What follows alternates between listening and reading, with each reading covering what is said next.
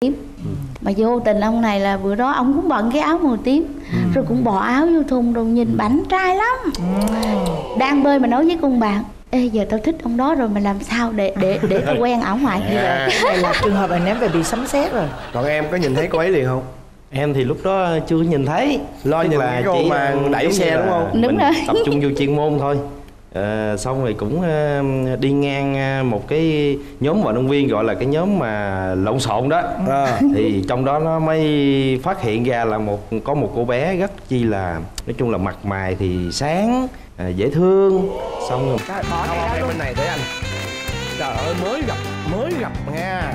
Rất vui Vì được gặp lại hai em. Chị một biết không Mới vừa gõ cửa thăm nhà hai vợ chồng này Ồ. Ở dưới Tiền Giang. Ồ, Ồ hả? một cái câu chuyện tình yêu của họ rất là hay nha chị.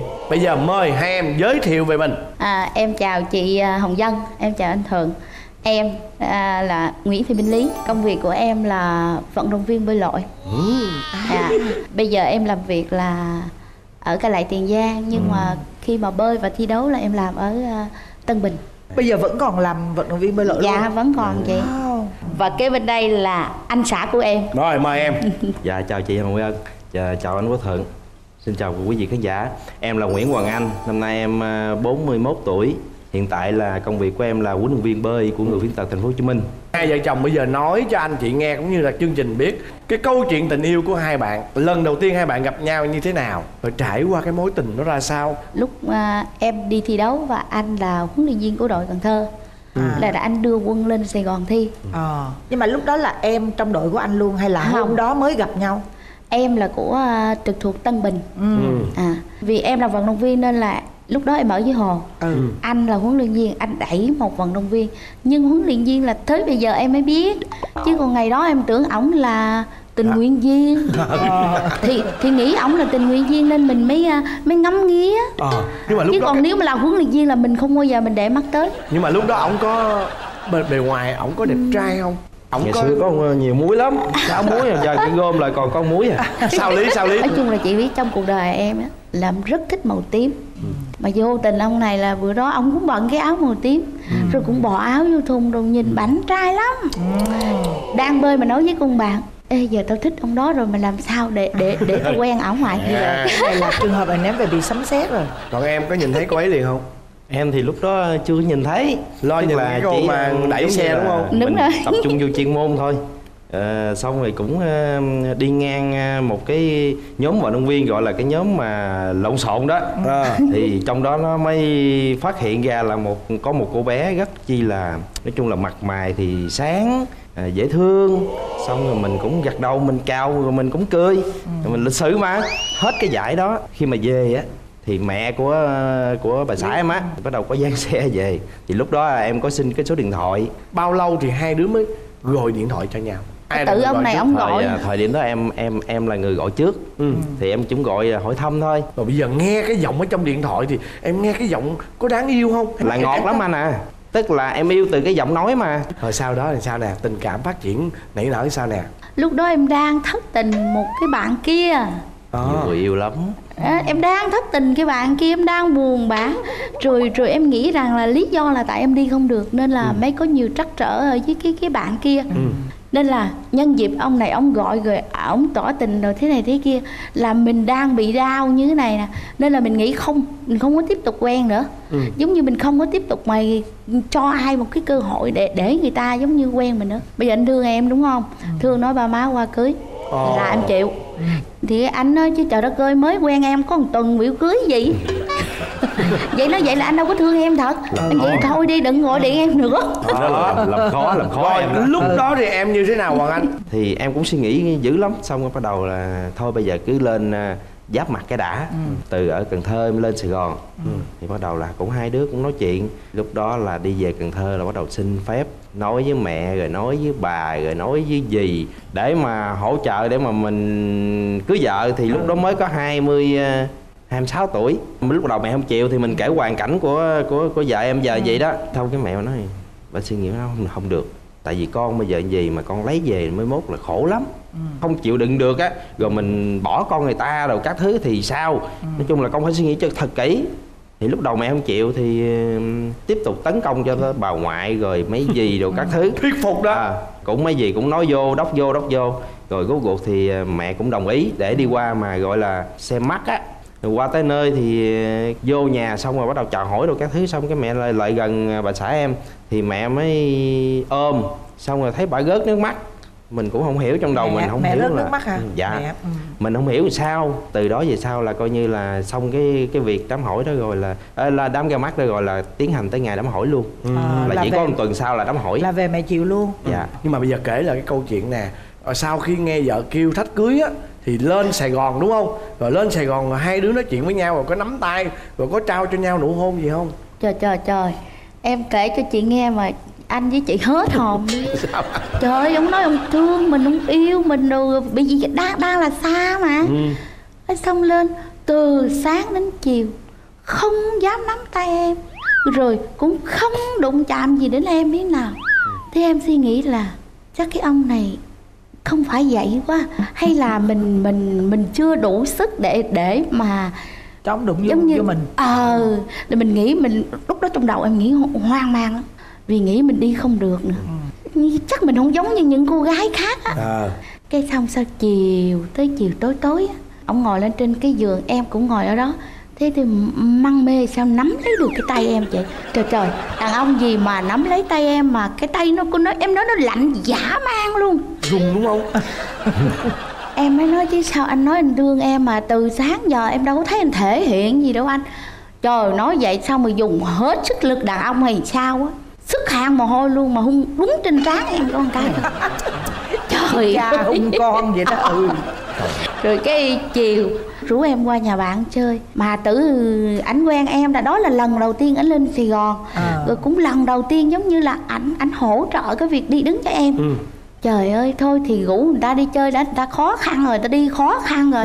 Đi lựa chỗ nào nó thoáng và nó dễ đi. Không. Đi đâu? đi qua tuốt ở bên à, chỗ đó là chỗ nào? Bình Tân. À quận Bình Tân á xong rồi là ẩm tuốt vô một dãy nhà lọ nhà trọ. Nó xa ơi là xa luôn. Mà mình đã ổng mới bế mình lần đầu là mình còn mắc cỡ nữa chứ. Ừ. mình nói ông này không có ý đồ gì không sao vô cái chỗ gì mà nó xa Rồi sao? Vô tới nhà trọ. Giờ tới nhà trọ là gặp bạn của anh. Rồi ví dụ chơi này nọ trong trong nhà đó đi không có vấn đề gì nói chung là khó chịu hay gì cũng thoải mái. Trên đường đi về là xe hết xăng mà em đã nói giống như em đi đứng khó khăn mà xe hết xăng sao em chúa ê chới vô trong chỗ đổ xăng. Xong rồi chị biết em phải tuột về phía trước à. Ừ, Trời ơi trời. Em nói cái ông này chắc không xong rồi gót Đâu phải mình trượt là xong đâu. Cả một cái bốn năm người đổ xăng người ta nhìn. Trời ơi chị này chị cũng không chịu xuống xe nữa. Ờ. Cũng ngồi luôn ở trên xe. Đổ xong xăng rồi Em vẫn ngồi đó mà người ta bật cái cái cái yên xe lên á. ờ, ờ, ờ. Chị thấy nó ghê chưa? Hay xong đi ra đường em giận lắm. Nói kể từ đây trong cuộc đời anh nha. Đừng bao giờ chở em đi mà xe hết xăng hết trơn Ủa? Em sợ đổ xăng lắm rồi. Đúng rồi chị.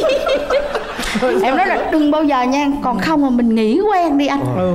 Ôi nhưng mà ổng hiền mà. Đâu anh đi suốt trên đoạn đường về anh sợ em bỏ anh thiệt đúng không? Anh nói không không anh không có cố ý. Nói chung là chuyện đó anh rút kinh nghiệm suốt cả đời. E- em đừng nghĩ vậy nha. Đừng giống như là anh không phải anh cố ý đâu. Là lúc đó bắt đầu can đảm chị bắt đầu nắm tay kéo ôm về phía trước rồi.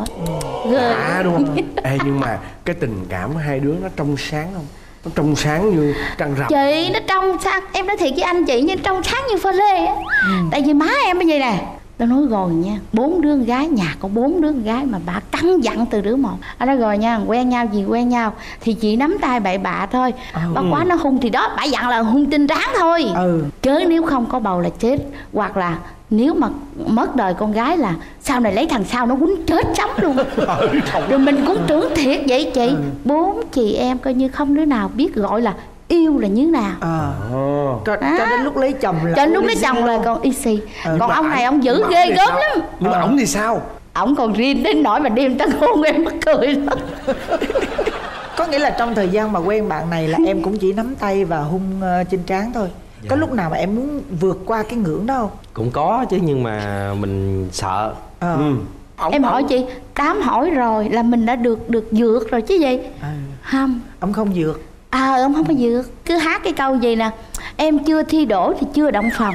À của lưu bình dương lễ đó. Nhưng mà thời điểm đó là thật sự là em đang chờ thi và đang tập luyện để thi. À thi paragame á. Dạ nên là anh anh cũng không làm gì. À. nhưng mà mỗi lần em hỏi chuyện đó với anh á là anh cứ mắc cỡ mặt mà anh đỏ tía xong anh không trả lời em gì hết trơn. Giờ còn mắc cỡ không? À, bây giờ hả?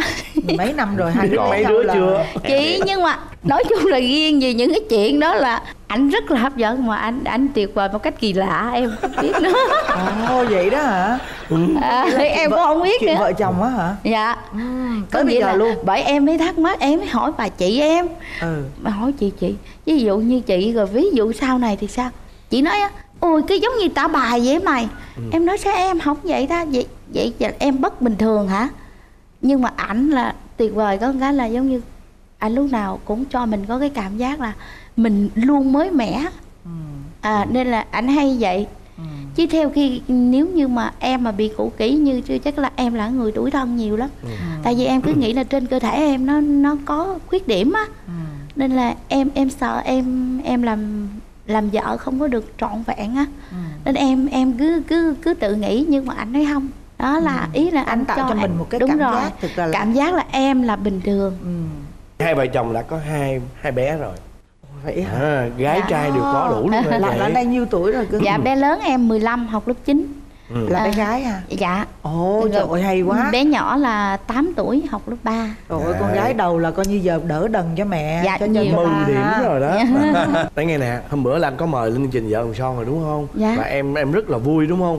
Em thích cái phần nào em thích cái phần kể xấu ảnh đó không bây giờ để để uh, Hoàng Anh à, đúng rồi anh Hoàng. Anh kể trước đi. Vợ em xấu thì ờ, tật xấu cũng, chứ không phải ờ, xấu nha vợ em đẹp nha. giống như là cái cái khuyết điểm xấu thì cũng ít chứ không nhiều. Ừ. có mỗi cái giống như hai chồng mà cả ngày làm việc mệt giống như mình khi mình về tới nhà mình muốn nằm xuống cái mình ngủ cứ về tới nhà tắm xong cứ, cứ vô phòng rồi lại ngủ trước khi ngủ là phải ôm. Mà nhiều khi ôm tới sáng bữa nào mình ôm luôn tới sáng mình mệt quá mình ngủ mình ôm luôn tới sáng cái là sáng ra nói hôm nay anh tuyệt vời. Giống như ôm tới sáng rồi là gì là phái hả ờ phải ôm này đó. Phải ôm mình á nhiều khi em á thì thường thường á kế bên em có cái gói ôm thì em hay ôm cái gói ôm hay quay qua ôm cái gói ôm mà em ngủ. Mà trong cuộc Mệt đời em á. ghét như cái gối ôm đó đó. Thấy đi không được chứ gác dữ lắm vậy. Ngủ gác thôi. Tôi coi nào mà gác à. gác hai chân lên cổ mình không? Có chứ nhiều khi cũng có xem vòng phải không? Xem vòng phải không? Có. Có khi thấy ờ, đi không được chứ gác dữ lắm. Em khi em tập rất là mệt.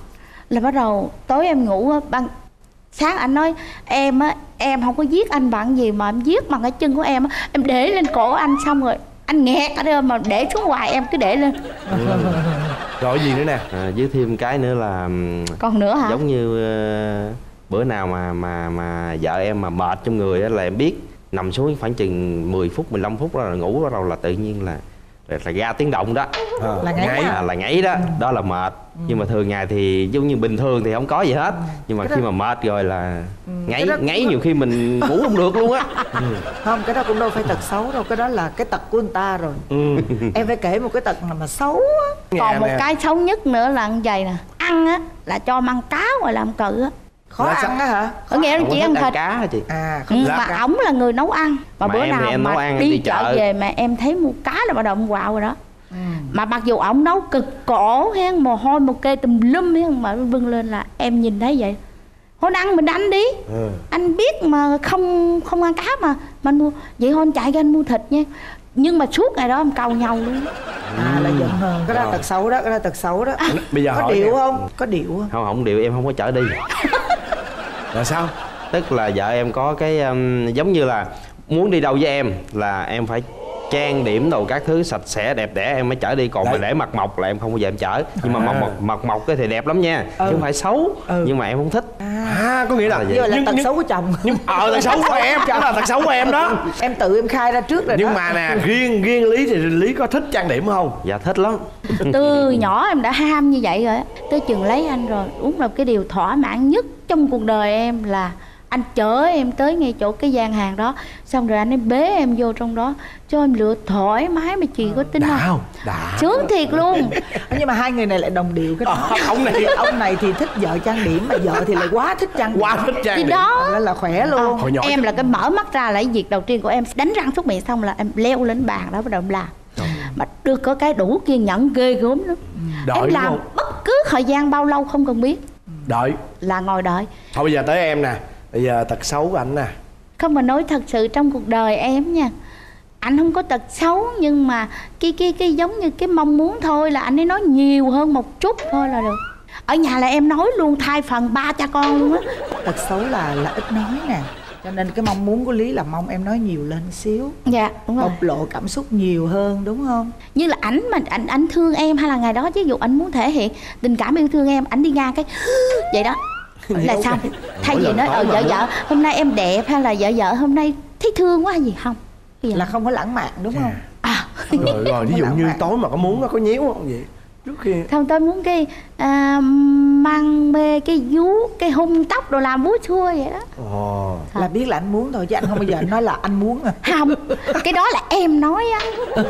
Lâu lâu mà ví dụ nhiều khi công việc nhiều quá với lại hay là căng thẳng cái gì á riêng em với ảnh mà nếu mà bị áp lực công việc mà căng thẳng á là chuyện đó không bao giờ làm được. Nhưng mà lâu quá em nói anh ơi em móc rồi đó rồi bây giờ em mong muốn ảnh thay đổi là chỉ duy nhất là, là nói nhiều hơn một thôi. chút xíu. Ờ, rồi còn hoàng anh thì sao? Muốn lý thay đổi điều gì? Em chỉ muốn ờ, vợ em ừ, cũng hay càm ràm lắm. Ừ. Giống như là càm ràm xong rồi thôi chứ không có gì. Nhưng mà em cũng giống như là hỏng hợp rồi đúng không? Em dẹp qua qua bên. Không nói tới Ờ, nữa. không nói tới nữa em bỏ luôn đó là vậy mong mà vợ em vậy thôi. Tức là Vậy. không có nên cầm ràm một việc mà cầm ràm đi cầm ràm Dạ, lại đúng đúng, không? rồi. nói xong rồi dứt dạc đi. Dứt mà em liền. chịu khó lắm chị em chịu khó dẫn chuyện. Ảnh mà tái phạm một cái việc na ná cái chuyện cũ đó ha là em em sẽ lấy cái đó ra em áp dụng với cái này. Đó giờ anh mà anh mong muốn vậy đó em nhắm em bỏ được không? Em bớt đi. Em bớt đi cho bỡ đỡ áp lực chị nói nghe nè. Khi mà em bớt cái cái cái cầm ràm đó đi đúng không? Thì là ông sẽ bớt áp lực nhiều em cũng bớt áp lực nhiều. Cái tối cái hai chồng nó khỏi bị móc. Dễ Chính xác không? á, cái đó đúng, Đó, đúng, đúng nó đó. mới hoài luôn nha thật ra như thế này nè anh cũng mong muốn rằng là hoàng anh à, sau chương trình này về sẽ hiểu vợ nhiều hơn và thậm chí là mình đã lãng mạn trong cái cách mình thể hiện rồi.